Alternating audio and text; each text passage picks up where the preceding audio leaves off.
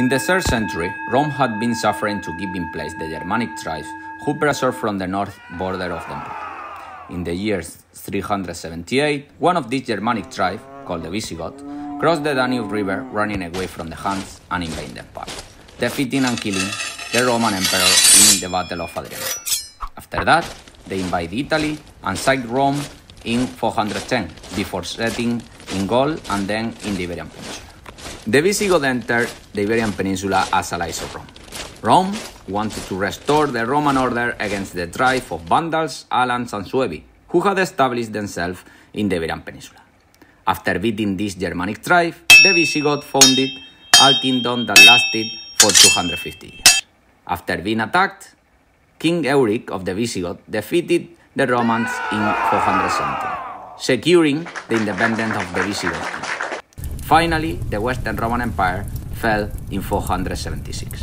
The Visigoths, counting over 200,000 people, were a Christian Romanized Germanic tribe.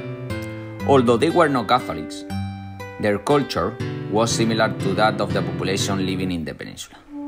In the past, religion was a decisive factor in the understanding of different tribes. The Visigoth king Leovigild, who reigned until 586, was an effective military leader and consolidated Visigoth power in Spain, conquering some territories all over the peninsula. Leovigild's son, Reccared, converted from Arian to Catholic. As a result of his conversion, marriages between Hispanic Romans and Visigoths increased. In 654, King Recceswinth finished the Visigoth Code, promulgated by his father.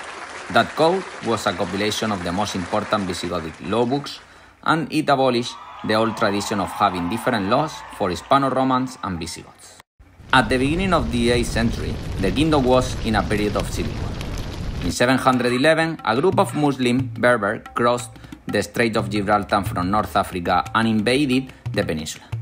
King Roderick, who was in the north putting down a rebellion, rushed to the south to face this new threat. Both armies met near the Guadalete River. During the battle, some Visigoth troops betrayed the king and left the battlefield. Consequently, the Muslims decisively defeated the Visigoths and killed King Roderick.